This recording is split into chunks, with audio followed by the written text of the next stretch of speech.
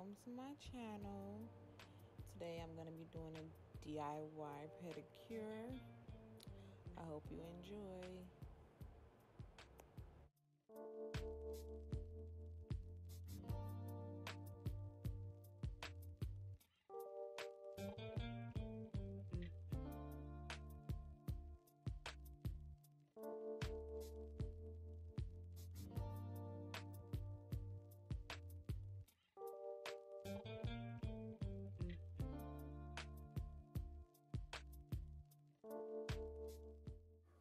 Okay, so now I'm just going to put my foot in the water and I will be using the conditioner to um, put this on a pumice stone just to put a little moisturizer on my feet and then I shall just scrub. So what I'm doing here is just getting as much dead skin as I can off the bottom of my foot. Like the heel of my feet is really well was really rough until after I did this, okay? Um, I just scrub as much as I can, get as much dead skin as I can off. And I use the other side, um, it's like the little crater side to get it as well. And then I use that brush part to get like, I scrub my toes. but I, I like this tool, it worked pretty good for me. For it to be just a dollar. So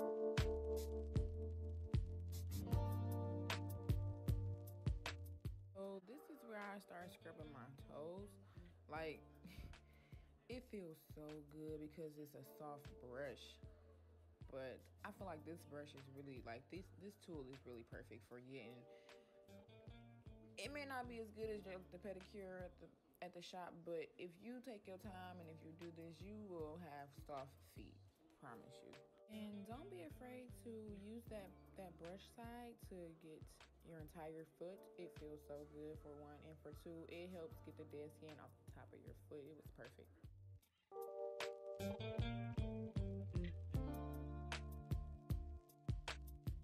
Okay, so here I'm just, um, I'm not cutting my cuticles, but I'm like cleaning them up because I don't want to I don't want to cut my cuticles. I've never done that before. I usually push them back. But here I'm just cleaning them up just a little bit because they did grow a lot. Um, this just gives your toes a nice clean look.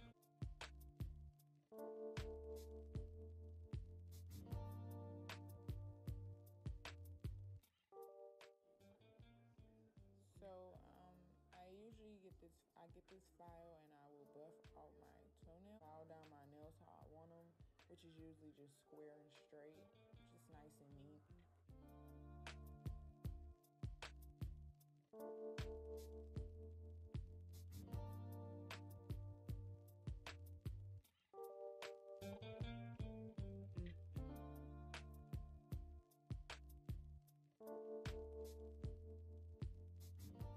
So what I'm doing now is just going over just to make sure I got everything how I wanted um, I'm a perfectionist, so you don't have to do it twice like me, but this is what I'm doing to make sure I got everything how I want it.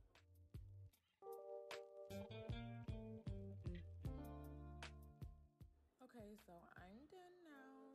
I am going to now dry my feet and start um, painting my toes.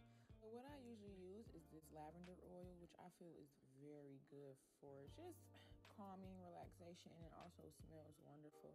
You don't have to use it, it's just that's what I use.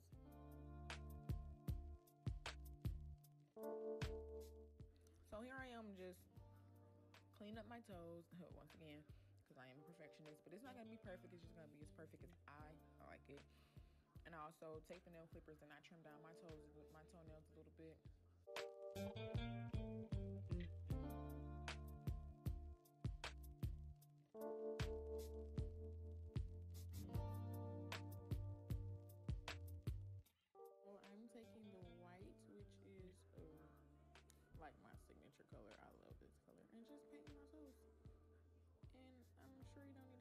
on that. Just paint your toes.